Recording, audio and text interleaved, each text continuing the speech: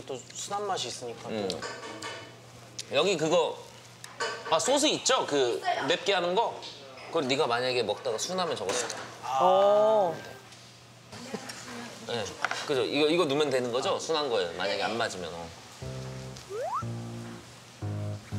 중국 장이 많이 들어갔네.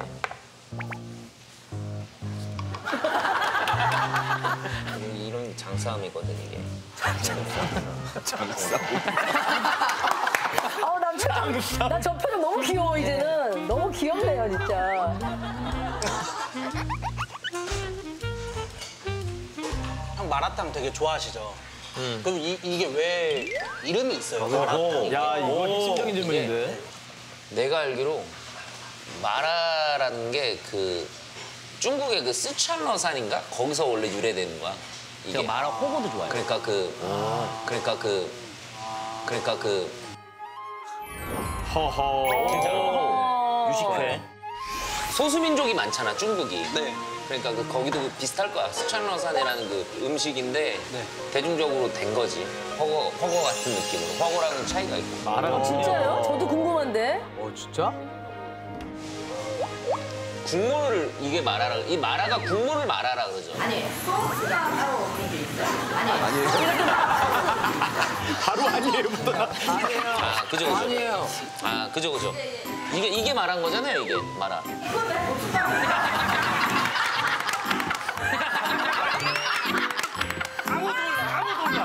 다 틀려. 야 어쩜 두 개가 연달아 다 틀리냐?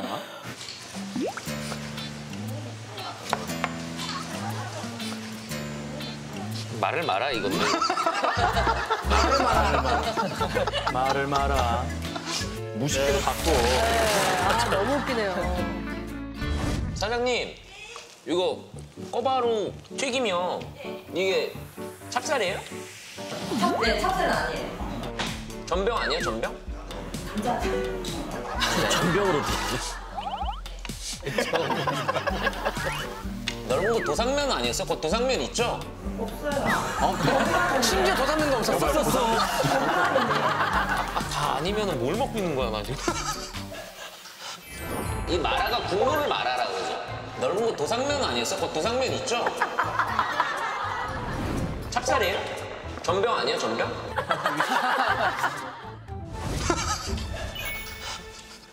사실 좀 많이 민망하고 좀 부끄러웠는데.